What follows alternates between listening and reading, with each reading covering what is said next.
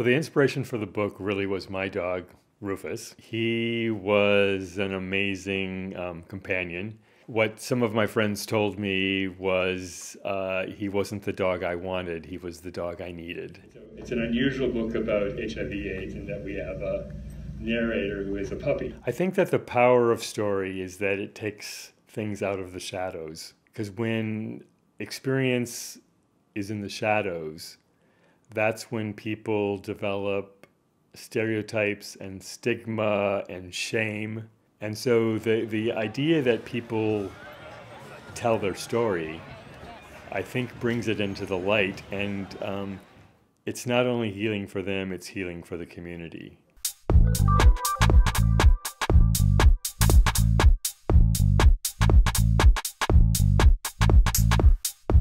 When I got Rufus, every year I would send out a, um, an annual newsletter called the Rufus Chronicles.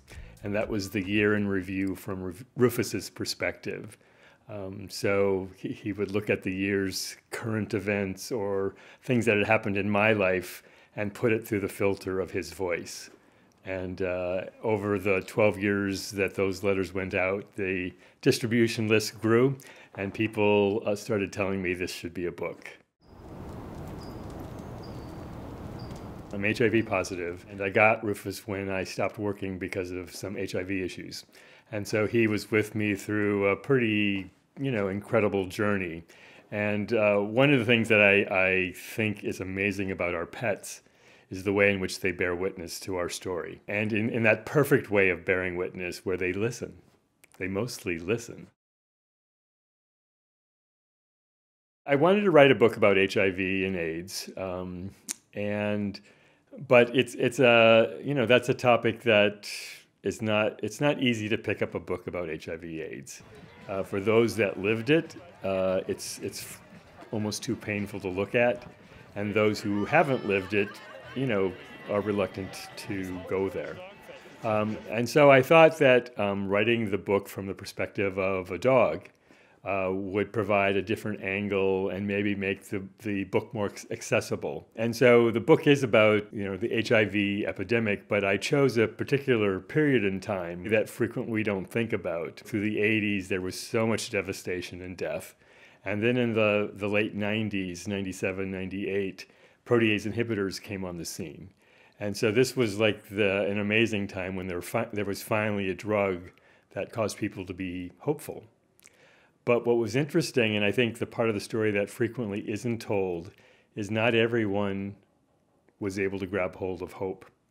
Uh, and as it turns out, um, hope, especially when you've lived through a traumatic event like the um, the epidemic and seen so many people die, is is not a simple process. And some people really struggled uh, with seeing the protease inhibitors as a new lease on life, partly because you know there still were side effects, um, and the character in this book really struggles with that dilemma. The book was about a five year project. Uh, Rufus frequently laying at my feet, uh, causing interruptions, uh, making me go for walks, taking breaks. But, but through the, that whole process of being with Rufus, I really, um, I think, gained an appreciation for this perspective, which is uh, outside of the human experience, uh, looking back at the human experience. So um, Rufus's death really uh, propelled me to finish the book. Um, really, even though it's fiction, I really think of it as a tribute to him.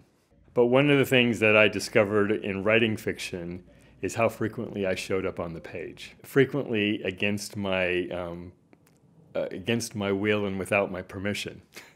um, so it, it, it's it's not me, but there are parts of me in the book. There are parts of um, uh, the stories that I've heard over the, over my years in San Francisco. So I would say it's based on a real um, process, but it's it's fiction. Writing the book was a challenge. I mean, partly because one of the ways in which HIV has affected me is in my um, concentration and fatigue. And so I frequently would write and would peter out and lose my place and have to come back. And so it wasn't, it was a long process. Uh, but one of the, the critical things that um, I think uh, allowed me to finish the book was at the very beginning, I developed um, a writing group. And so um, I put an ad on Craigslist and um, got this amazing group of women who were part of my writing group who were with the book from the inception to the end. You know, for anyone who is doing um, uh, any expressive art that is by nature really solitary, I think having a community is so important.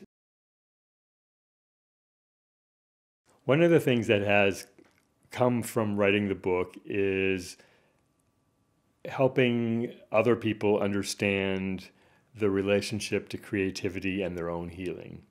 And around HIV AIDS, I think um, so many people are traumatized by the experiences that they hold. And trauma, by definition, uh, is something repetitive but stuck.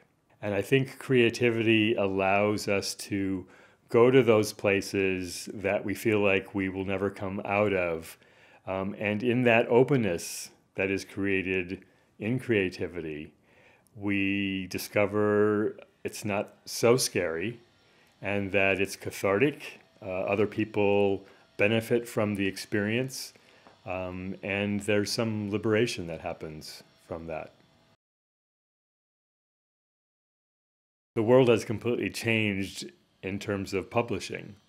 Uh, it used to be that we would spend, you know, years working on a manuscript and then would send it out to, it used to be publishers and now it's agents, and wait for rejection letters. And we were told, you know, expect, you know, a hundred rejection letters. It's just, it's just the nature of the, the beast. And the beautiful thing about self publishing is that you are really in charge of the process. It's, it's your, it, it, it rises or falls based on your effort. The part that Rufus would have loved about the book if he was still alive is he would have loved to go to the book events. He was a dog who loved people. Uh, there is not a person that he ever met that he didn't love. He would have been running from lap to lap as I was reading. And that was that I thought that was going to be the launch of the book. I really thought he was going to be with me uh, as I told this story. Uh, and uh, instead, his spirit is.